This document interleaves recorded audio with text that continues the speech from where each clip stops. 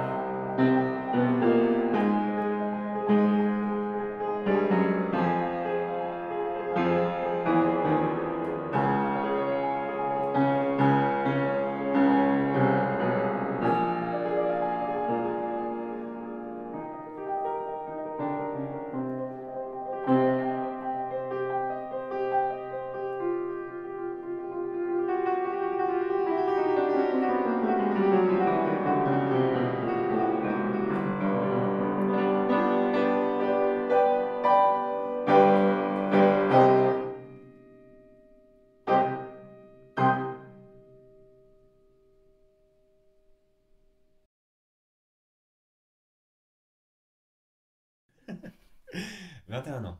Je suis né en 2001. Mon prénom, point, mon nom de famille et ma photo. Je crois qu'il y, a une bio. Et je crois que c'est un Rickroll. À tous les coups, ça peut être un Rickroll.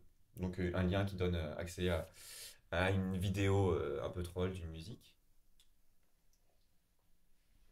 C'est ça, en gros. Moi, j'utilise surtout Instagram aujourd'hui. Avant, j'ai eu quasi tous les réseaux sociaux qui existaient. J'ai jamais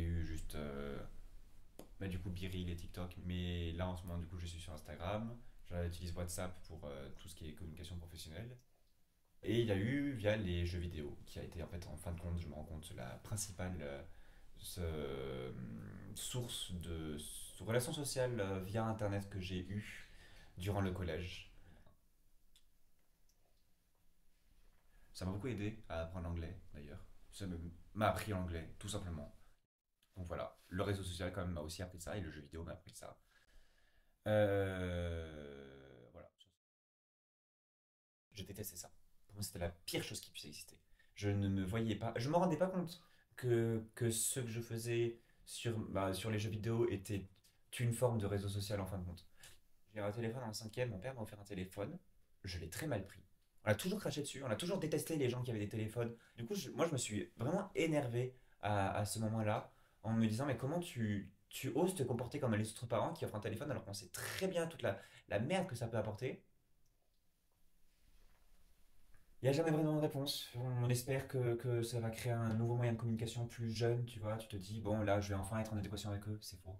Mais bon, parce que je me suis toujours considéré comme euh, décalé, ça, je, l'étais, il faut bien l'avouer, mais un peu même comme plus vieux, comme plus mature, j'étais pas en, en adéquation avec les gens de mon âge, je n'écoutais pas leur musique, je ne respectais pas, c'est pas seulement que je ne m'intéressais pas, c'est que je ne respectais pas leur culture. Et voilà, j'étais pas dans, dans leur monde, et je me disais que le réseau social, Facebook, en fait, pas le réseau social, Facebook, pouvait m'amener dans leur monde.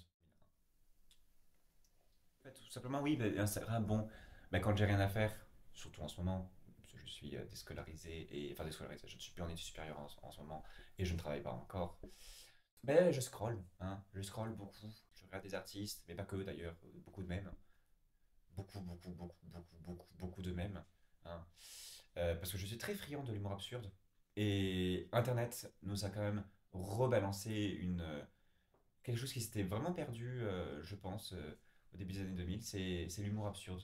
C'est même l'absurdité la plus totale des choses qui n'ont aucun sens, qui ont un sens que parce qu'il existe autre chose derrière, mais quelque chose derrière, quelque chose. Et des fois, une espèce de, littéral humour à 36 degrés où, si tu ne connais pas les 36 premières images d'avant, tu ne peux pas comprendre la blague.